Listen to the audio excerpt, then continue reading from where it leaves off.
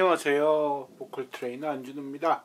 자, 안진우 연구소의 피드백 컨텐츠 두 번째 시간. 오늘은 곰보님의 사연입니다. 곰보님은 노래를 다섯 곡이나 보내주셨습니다. 예. 근데 특별한 사연은 김동률 노래가 좋아서 김동률 씨의 노래를 많이 연습을 하셨다고 말씀을 해주셨어요. 근데 여러분들도 연습을 해보시거나 노래방에서 불러보시면 아시겠지만 김동률 씨는 되게 특이한 보컬이에요. 굉장히 저음으로 편안하게 노래를 부르시는 것 같은데 막상 따라해 보시면 굉장히 힘들단 말이죠.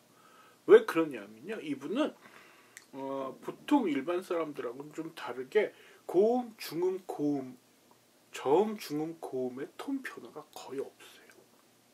그래서 듣기엔 굉장히 편하고 와 부드럽게 잘 부르는데 나도 한번 해볼까? 하고 막상 따라해보면 오왜 이렇게 높지? 힘들어 힘들어. 라는 경험을 하시게 되는 거죠. 예 아무튼 곰보님 같은 경우는 뭐 생각보다 예 해결은 아주 간단합니다. 3년 이상 노래방에서 뭐 매주 노래방을 가셔서 연습을 하셨다고 했는데 노래방이 독이 되신 케이스입니다.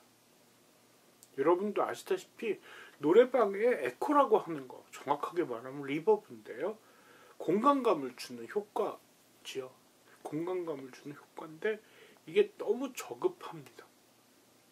너무 저급해서 마치 정교한 소리는 한 개도 들리지 않고요. 그냥 왕왕왕 잔향만 들려지는 그런 효과기 때문에 정교한 음정을 내시거나 그런 연습에 오히려 완전한 독이 된 거죠. 예, 지금 음, 보내주신 음악을 잠시만 들어보셔도 이 보내주신 상태의 노래방의 에코가 얼마나 심한지 여러분들도 잘 들으실 수 있, 으실 텐데 뭐 잠깐이지만 한번 들어보세요.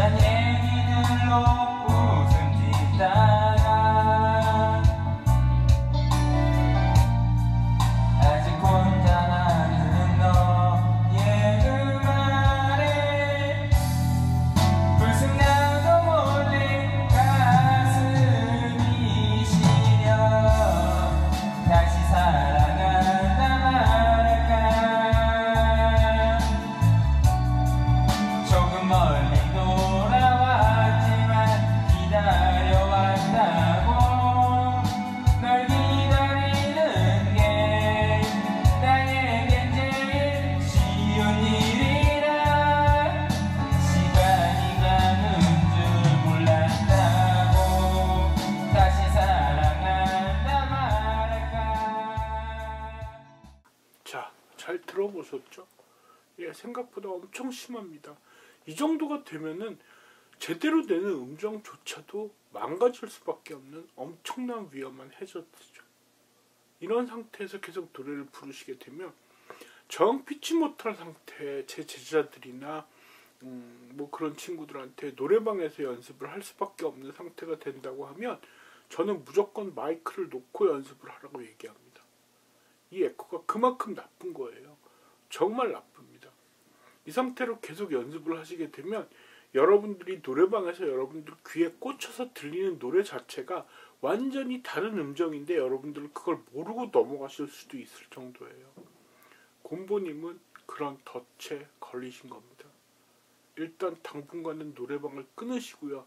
정 연습을 하고 싶으시다면 노래방에서 또는 코인 노래방에서 반주를 대폭 줄이신 상태에서 아니면 좀 커다란 노래방이라면 최대한 스피커에서 멀리 떨어져서 아니면 그냥 핸드폰 스피커에서 나오는 소리로 생목으로 연습을 하시는 걸 권해드립니다.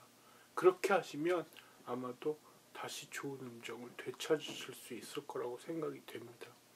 절대 왕왕거리고 에코가 많은 노래방에서 연습은 절대 절대 금물입니다. 아시겠죠?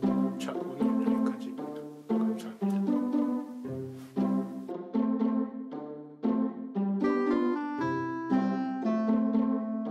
저희가 얼마 전에 새로 시작한 어, 피드백 컨텐츠 즉 여러분들이 영상이나 음원을 보내주시면 제가 거기에 대해서 코멘트를 유튜브 영상으로 시작해서 올려드리는 겁니다. 주의사항 추가된 게 몇 가지가 있어서 구체적으로 말씀을 드릴게요. 첫 번째는 하, 노래방에서 마이크 들고 노래 보내주지 말아주세요. 정말 힘듭니다. 안 들립니다. 두 번째는 연락처의 기재입니다. 저희가 뭐 여러분들 연락처를 수집해서 다른 목적으로 사용하는 게 절대 아니라 제가 이런 식으로 유튜브 영상에 여러분들의 노래와 사연을 소개를 해드려야 되는 부분이 있기 때문에 여러분들의 동의가 필요해서 직접적으로 저희 스태프분들이 연락을 하시기 위해서 필요한 전화번호니까요. 전화번호 꼭 남겨주시고요. 마지막은 제가 불러주시길 원하는 닉네임이라든지 별명을 써주시면 제가 그대로 유튜브에 녹화를 해서 올려드리도록 하겠습니다. 이세 가지만 꼭 지켜주시면